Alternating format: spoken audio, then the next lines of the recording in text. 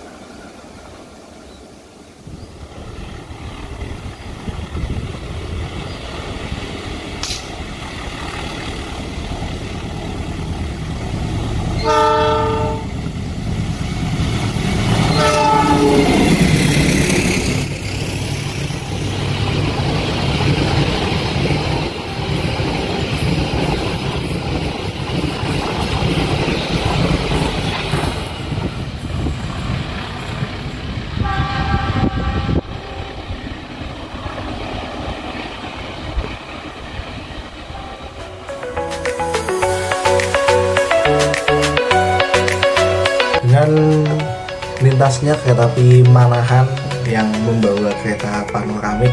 Hampir sama ya seperti video sebelumnya. Tapi bedanya ini di video kompilasi.